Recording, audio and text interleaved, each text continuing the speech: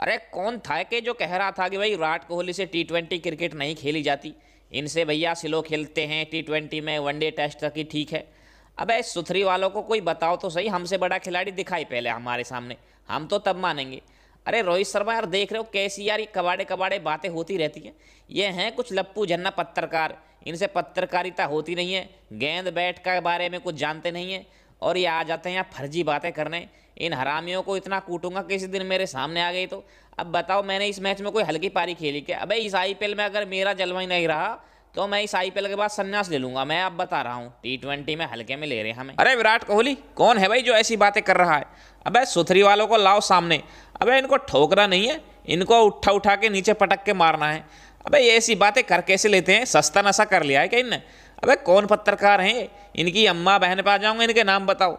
अबे ये पांड्या के छोड़े हुए पत्रकार तो नहीं है? ऐसी हरकतें यही करता है, इनके पत्रकार होंगे ऐसे? क्यों भाई पांड्या? ऐसा ही है क्या? अरे नहीं नहीं, पांड्या अपना यार है, वो तो सब मज़ाक की बातें थी। लेकिन ऐसी बातें कर कैसे सकते हैं, तुमसे बड़ा खिलाड़ी टी ट्वेंटी में हमने तो आज तक देखा नहीं है।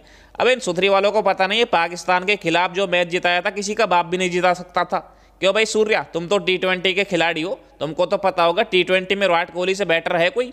अब इसका जलवा चलता है, इसका स्ट्राइक रेट देखो, इसका औसत देखो, फिर भी भैया इसकी ऐसी बातें कर रहे अब इसके बिना वर्ल्ड कप खेलना भी बेकार है, मैं तो संन्यास ले लूँगा, अगर ये नहीं खेला तो। अरे रोहित शर्मा भाई, संन्यास की बातें ना करो, संन्यास की बातें सुन करके देखो, पांड्या के भैया रुआ रुआ खुश हो गया है।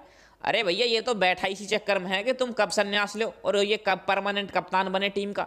वैसे ये खेलता वेलता है नहीं आईपीएल में फिट रहता है। जब इसकी टीम इंडिया में ज़रूरत रहती है तब ये अनफिट हो जाता है। और यहाँ कप्तानी के चक्कर में। और सुने हैं कि भैया, पिछले मैच में बहुत जलील क्या है तुमको। कभी बाउंड्री से इधर भेज दिया, कभी उधर भेज दिया। और भैया, बुमराह के होते हो खुद पहला ओवर करने आ गया। अरे पांडे यार, तुम क्या हो यार? ऐसे नहीं करना चाहिए। हमारे सीनियर खिलाड़ी हैं भाई इनके छात्र छाया में खेल करके भाई हम सीखे हैं, बड़े हुए हैं। और तुम होगी भैया, इनसे ही भैया बाउंड्री पे भेज रहे हो?